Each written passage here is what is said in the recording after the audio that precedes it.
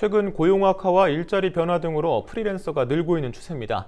하지만 낮은 수익과 불안정한 고용 형태는 이 해결해야 할 숙제인데요.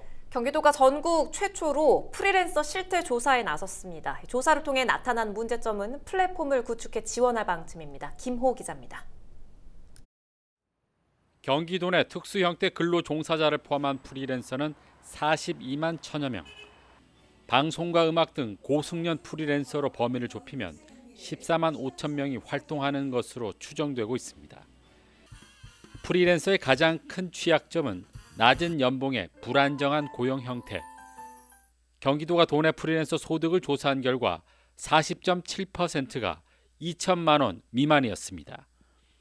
2천만 원에서 3천만 원 미만은 22.2%, 3천만 원에서 5천만 원 미만은 19.9%로 조사됐습니다.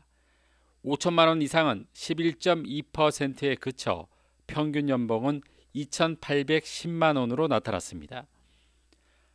통계에서 볼 수 있듯이 프리랜서 활동 시 가장 큰 애로 사항은 79.5%가 소득의 불안정을 꼽았습니다. 또 불만족의 이유로는 보수 또는 소득 수준이 기대했던 것에 미치지 못하고 보수의 책정 기준이 투명하지 못하거나 일방적이라는 점, 또 직업 안정성이 떨어진다는 점을 꼽았습니다. 직종별로는 교육과 연구, 법률 서비스가 31%로 가장 많았고 IT와 의료 보건이 각각 12.4%로 뒤를 이었습니다. 음악과 연극 게임이 10.3%, 방송과 광고가 4.1%로 나타났습니다. 교육과 법률 서비스 업종은 전국 평균과 비슷했지만 나머지 업종은 전국 대비 상대적으로 높게 나타났습니다. 불안정한 고용 형태 때문에 부당 행위를 경험한 사례도 87.4%로 매우 높게 나타났습니다. 부당 행위 대응 방법으로는 개인적으로 처리한 사례가 53.9%로 가장 높게 나왔으며 참고 견딘다는 무대응이 43.4%로 대부분 주위의 도움 없이 대응하고 있는 것으로 조사됐습니다. 단체나 공공기관 도움을 요청한 사례는 20%가 안 됐습니다.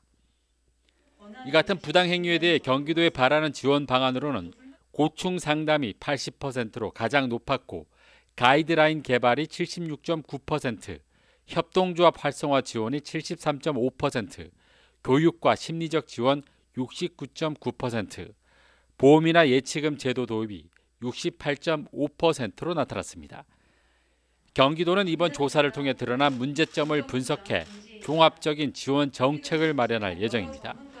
무엇보다 프리랜서들이 사회 안전망 안으로 들어올 수 있도록 경기도형 프리랜서 플랫폼을 구축해 체계적인 지원에 나설 방침입니다.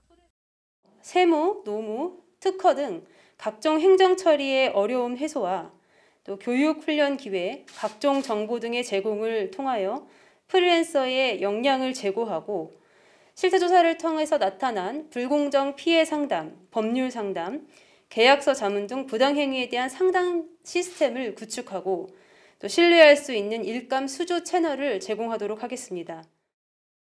이번 조사는 지난해 5월부터 11월까지 7개월간 도내 프리랜서 14만 5천 명을 대상으로 1차 설문조사와 2차 심층 인터뷰를 통해 진행됐습니다.